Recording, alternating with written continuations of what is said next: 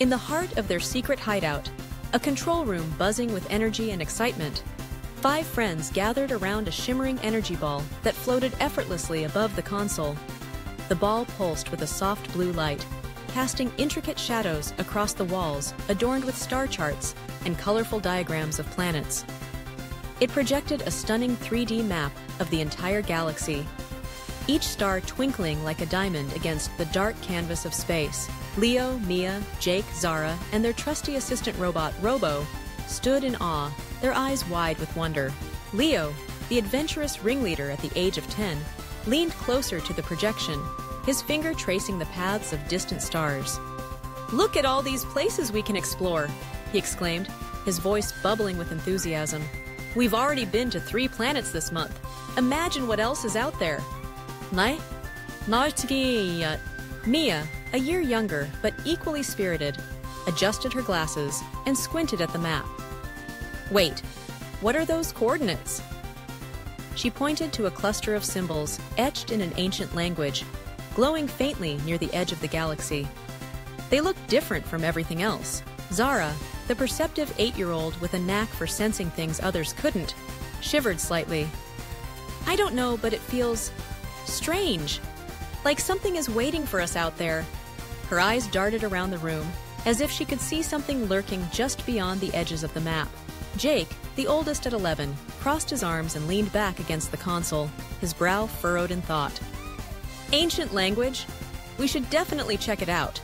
Who knows what kind of treasure or adventure awaits us? He glanced at Robo, their metallic companion, who stood silently by their side, ready to assist. Robo, can you translate those coordinates? Asil?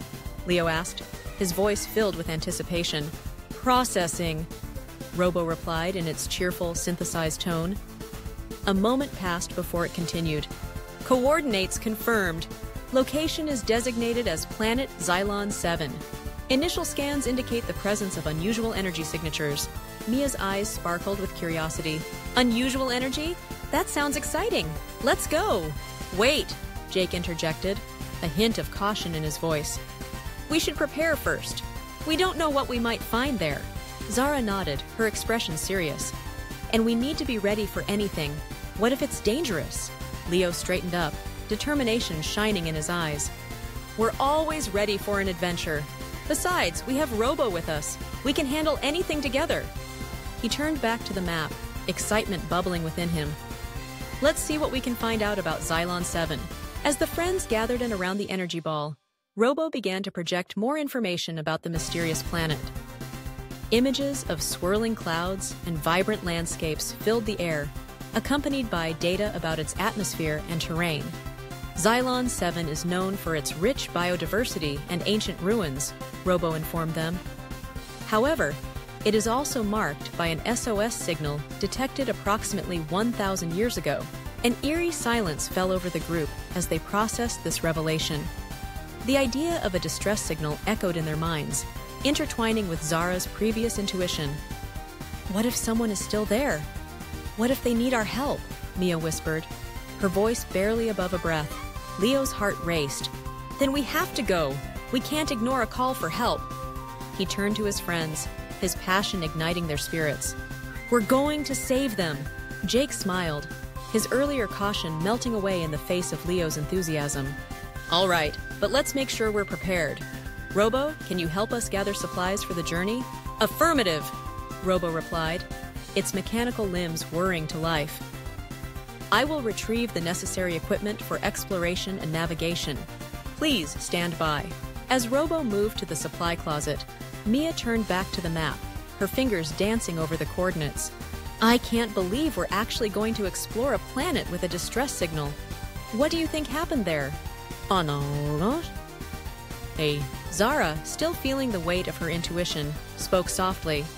Maybe they were in trouble. Maybe they need friends like us to help them. Jake nodded, his mind racing with possibilities. Whatever happened, we'll figure it out together. We always do. Robo returned, its arms laden with gear, communication devices, emergency supplies, and even a small first aid kit. Supplies have been gathered. All equipment is ready for deployment. Great job, Robo! Leo cheered, clapping his hands together. Let's get to the launch pad and prepare for our first test flight. We need to be ready to leave as soon as we can. With a flurry of excitement, the friends made their way to the launch pad.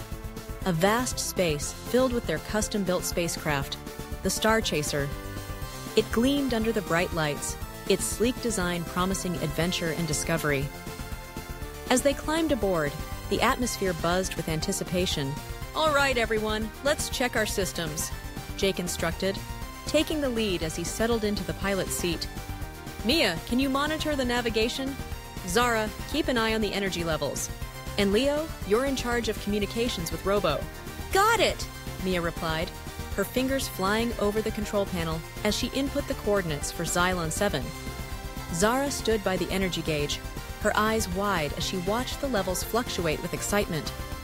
Leo adjusted the communication devices, ready to connect with Robo. Systems are operational, Robo announced, its voice echoing through the cabin.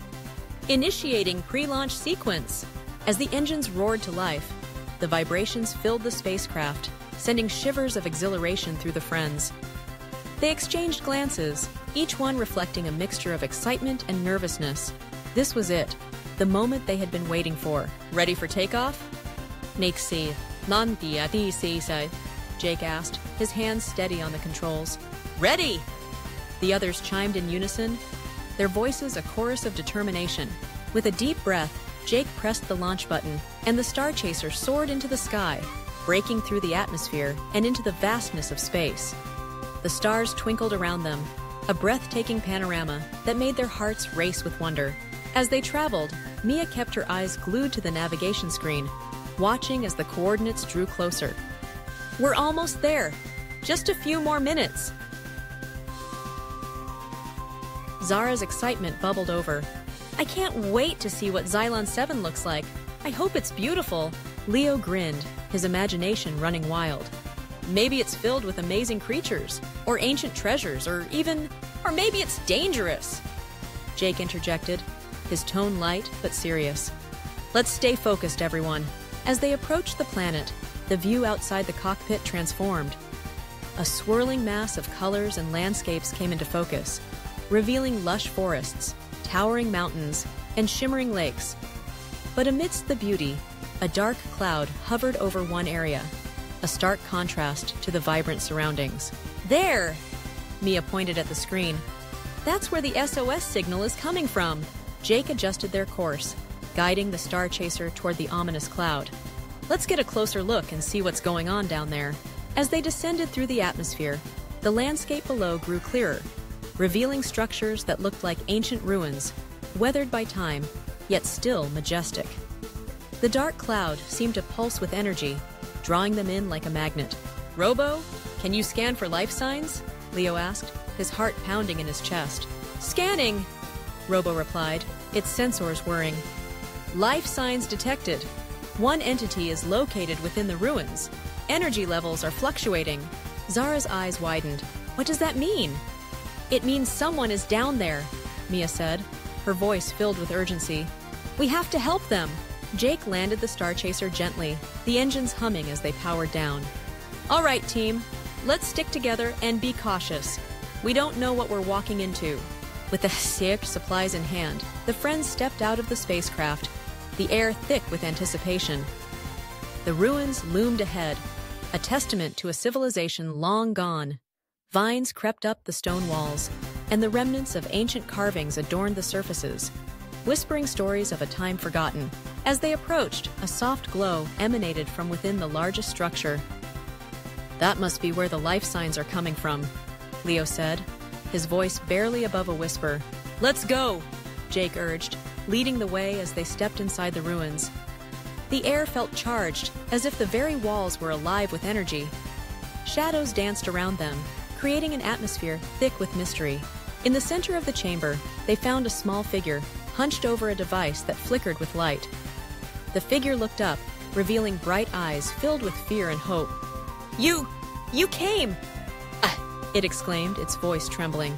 Leo stepped forward, his heart racing. We're here to help! What happened? The figure, a young alien with shimmering skin and delicate features, pointed to the device. I sent the SOS. Our planet is in danger. The energy we rely on is fading, and soon we will be lost. Mia gasped, her mind racing with the implications. How can we help? The alien looked at them with desperation. You must restore the energy source. It is hidden deep within the mountains.